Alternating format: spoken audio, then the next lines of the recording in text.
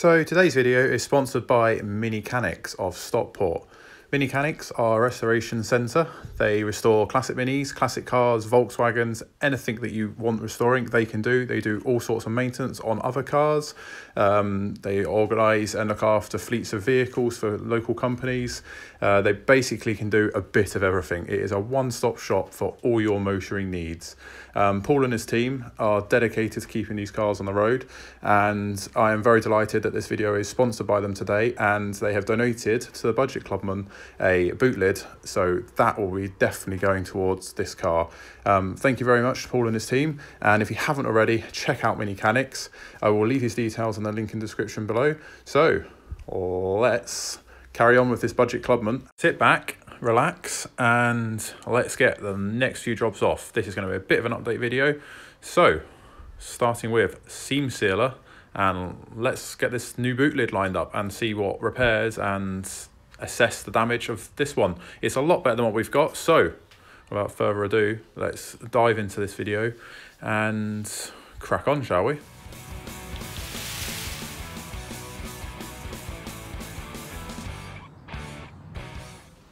Hi guys, welcome back to the channel. Welcome back to the Budget Mini Clubman once again.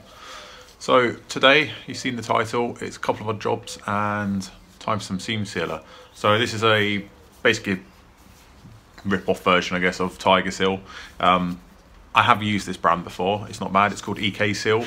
Um, it's really not bad, it's it's pretty good. It does everything the same, it's overpaintable, it's pliable and stuff like that. I like to sort of really go over the car with seam sealer because there's a lot of water traps on minis, a lot of water traps on old cars in generals, um, and a lot of this wasn't done from factory. So the underside of this car is really good. So let's try and protect the rest of it for the future. Um, the only issues that I've had to put in is obviously the floor pans and the seals. So I've seam sealed all of that. Um, and I've done the underside already. So off camera, the underside of the car has been done. I've got a bit more to do inside all the wings. Now I've got the A panels and bits and pieces on. Um, but we are pretty much there on the underside. But I will do the inside on camera. So how much of it we, have we got to use? I've already gone through nearly one of these on the underside of the car. Um, three of these on eBay was I think 15 quid. So it's not too bad, it's five pound a tube, isn't it? Um, Tiger Seal is about 10 pound a tube. So I've, like I say, I've used this before and it is pretty good stuff. It's not too bad. It just hasn't got the hasn't got the big Tiger Seal name to go with it. But yeah, it's a very important part of a restoration in my eyes. Um, this is protecting all that work you've done. It obviously waterproofs it, it stops grime getting in there. And really, I think if you don't do this, all your hard work is a bit pointless, really. Um, but that being said, it wasn't like that from the factory, and the cars have lived like this as long. There's minimal, there is seam sealer under the car, but not as much as you know, you you might want to put on. So it's up to you how much you put on it at the end of the day.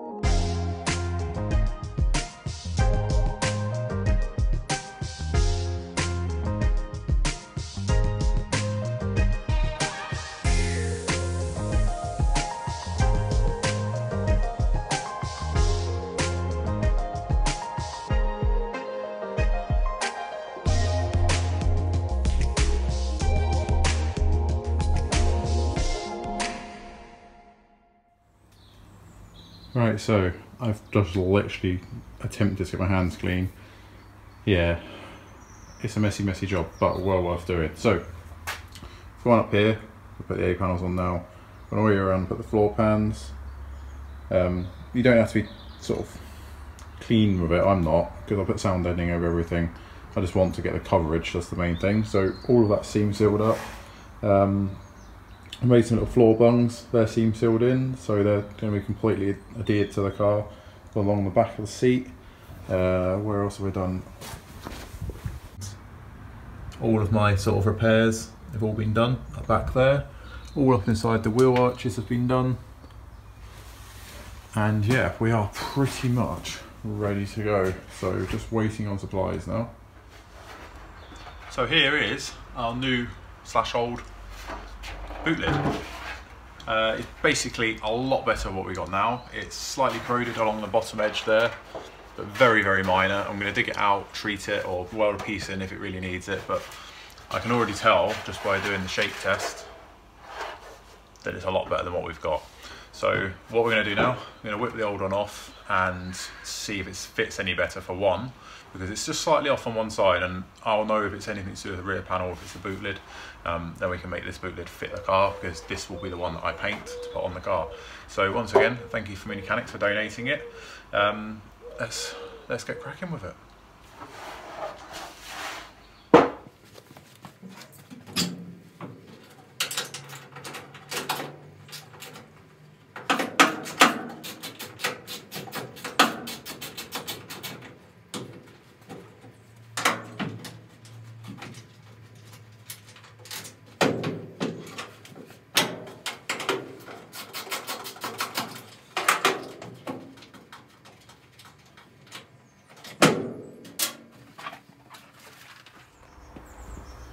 Right, so I don't think I've shown quite how bad the boot lid is, but reasoning for getting rid of it is absolutely everywhere. There is filler cracking, rust showing. I mean, you know, this is the whole flavour of the back of the car, it's just filler. So someone's had a really poor attempt at doing it. And this is actually crumpled in. This is wonky. It's bowed in on top, and you can see again, look how thick the filler is in it. So it's definitely got to go. It's a bit of a mess. So let's get these hinges off. Um, I'll remove this. I don't think I'm going to be able to save it. I, am just not going to put that much work into one of these. I'll find another one. I'm pretty sure I've got one somewhere. Uh, I'll replace all these lenses because they're just good to buy. They're five pounds and save the wiring out of it.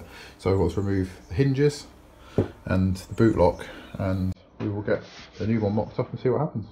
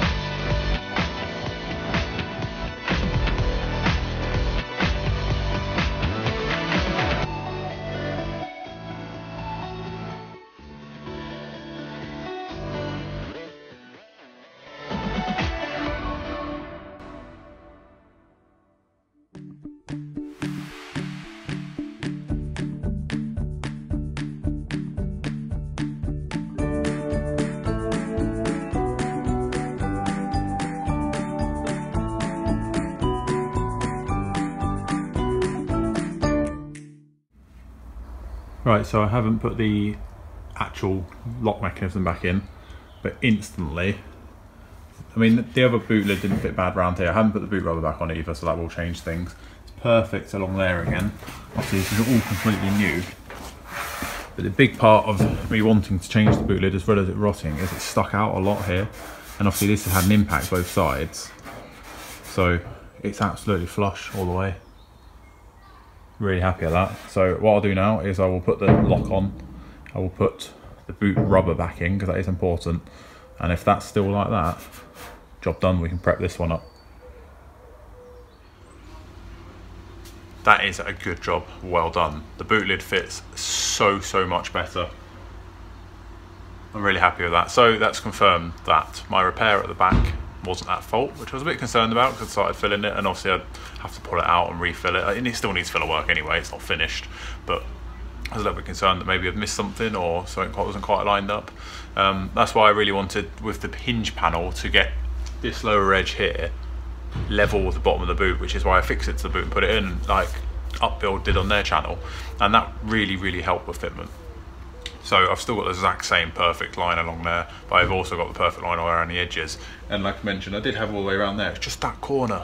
It was just bugging me a little bit. And I was like, well, could the boot lid be sort of squashed and then making the outside come in? So it's like being hit in the middle and looking at the numplate, it looked like it had. And then, but the impact was both sides of the car, not the center. But then when I started stripping the car, everything was rotten and bent. So I don't know what sort of life it's led prior to 2001 when it was last on the road but it's definitely it's definitely suffered this poor old clubman. So yeah, so this boot lid I I don't know. It's obviously just off a mark for me. I don't know what it's off. Maybe Mayfair or something like that. But you're not going to know once it's all painted. So I'm going to weld up the holes where the numplate went. That's obviously just something I want to do, tidy it up. Um, I'm going to go for like period style number plates on this. I can't wait to really fit them. So they just need two holes in the middle. So I might leave the two that are there and go off them or just re-drill it one after paint and then I've just got a little section of probably about there to sort. So yeah not too much work to do really. But yeah I'm really quite happy with that or quite chuffed with that as I should say. Yeah that's, that's a job well done. So just a quick update really. Got the boot lid, seam sealing's done. Next point of call will be painting the underside of this car. So it's already been primed, I've spot primed it in the areas, I've sanded back everything, everything's now seam sealed. We are ready to hit some paint on the underside of this car. We're gonna go in with stone chip first, then we're going to do the bronze yellow over the top so I'm really quite excited to see this um, waiting on delivery for other bits and bobs so just wait and see really I've got some other stuff on its way so I've got like paint for the subframe. So once the underside's painted, I can get the fuel and brake lines in, put the subframe in, and start to slowly get it rolling again.